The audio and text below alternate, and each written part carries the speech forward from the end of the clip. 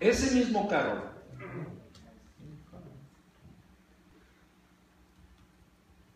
viejito.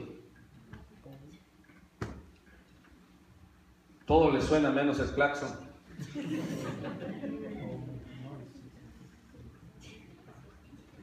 Llegué a otra ciudad. Estaba mal el carro, muy mal, mecánicamente, mal, llantas mal, todo mal. Parecía tan mal. Todo mal. Llegué a la ciudad de Monterrey y un día que amaneció, en mi mente empezó a sonar un nombre, Iván, Iván, Iván. Se dio mediodía y yo seguía, Iván, Iván.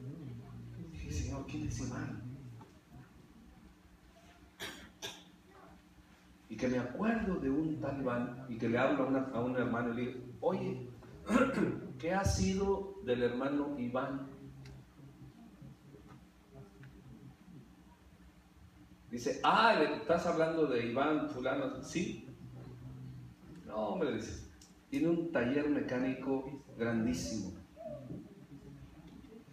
Oh, wow. Entendí que el Señor me estaba diciendo, ve con Iván. Porque te arreglen la tartana esta que traes. Fui con él. Habían pasado 25 años que no lo veía. Y yo llegué a, el lugar y me atendió una persona que salió. Digo, buenas, buenas tardes. Buenas, este, buenas tardes. Digo, ando buscando a un señor Iván. Dice, yo soy Gabrielito, yo soy. No, pues bien diferente. Se ve que le había entrado a los tacos. Él me identificó rápido. Y ya platicamos un rato muy a gusto. Dije, mira, traigo este carrito porque, porque trae un ruido, parece ser que es el mofle que está pegando abajo y, y, a lo mejor trae un problema eléctrico porque a veces arranca y a veces no.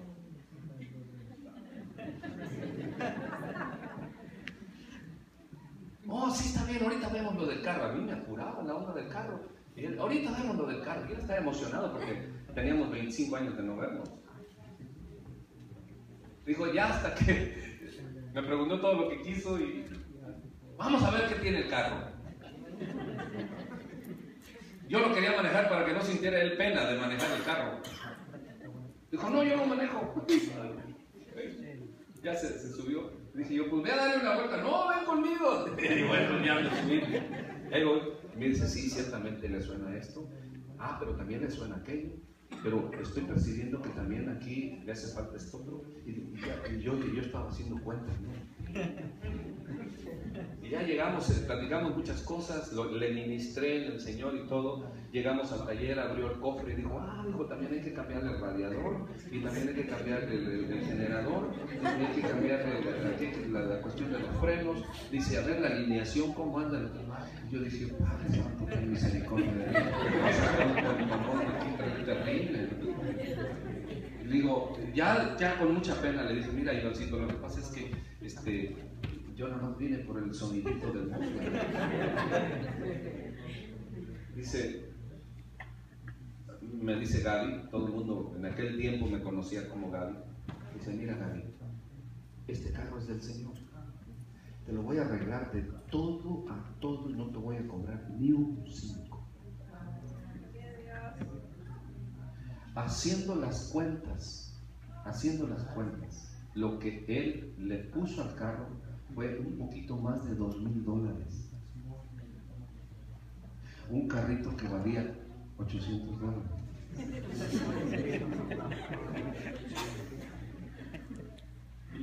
Su vida fue transformada.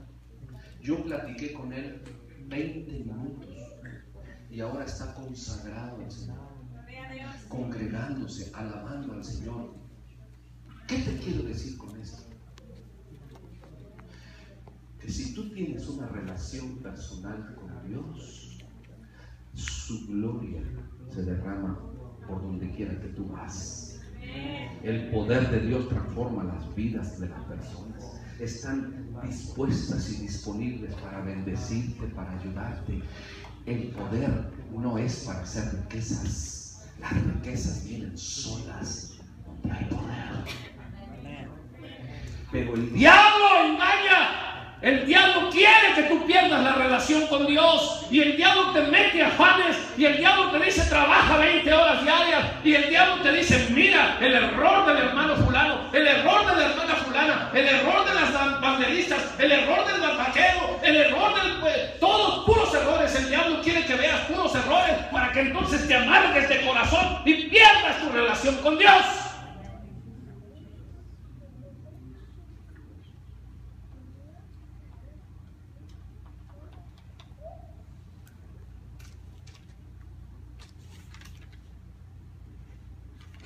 ¿Eres cristiano?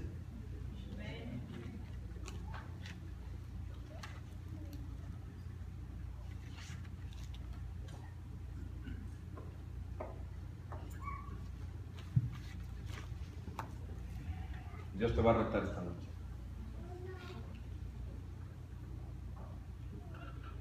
Dios te va a retar esta noche.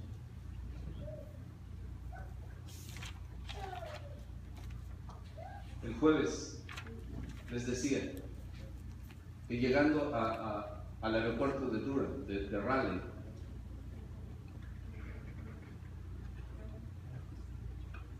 tomé mis tickets de abordar y después me fui al paso de la aduana, donde están todos los oficiales. Le di el ticket, mi identificación. Me volteé a ver me dice, usted es un siervo de Dios, ¿verdad? Le digo, sí. Me sacó un, pase amarillo con, la, con el escudo del águila de los Estados Unidos y me dijo, nada más enséñeselo al empleado que está atrás. Llegué, se lo enseñé, me abrió la puerta, dijo, no se quite zapato, no se quite nada, absolutamente nada, sus, sus cosas pásenlas por aquí, no va a pasar por ahí donde hay detectores de cosas, directamente usted pasa.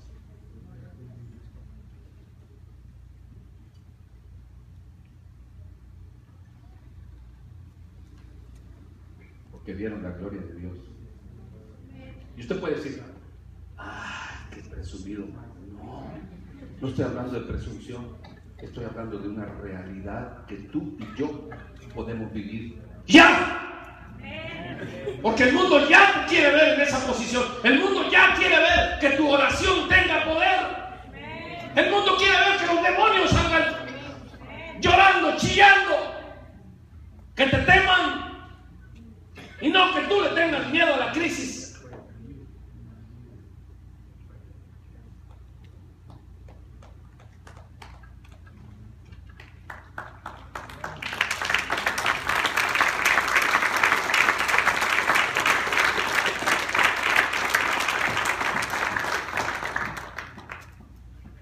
Estamos por comprar un edificio de 10 acres de terreno y un edificio.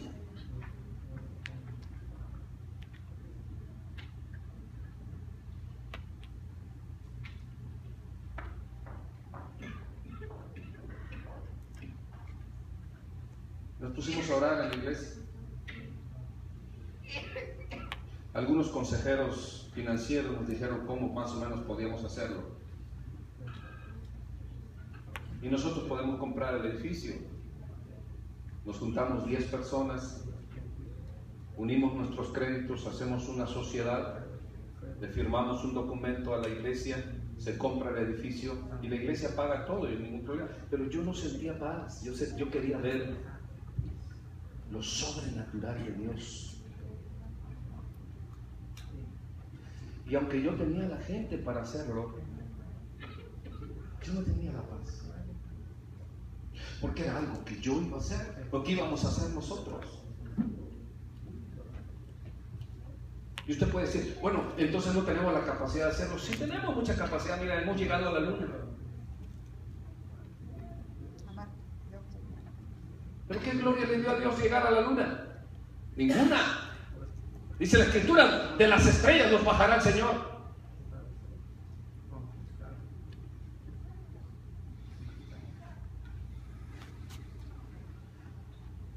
Y hace unos días recibo una llamada y me dice, hay un señor que lo quiere conocer.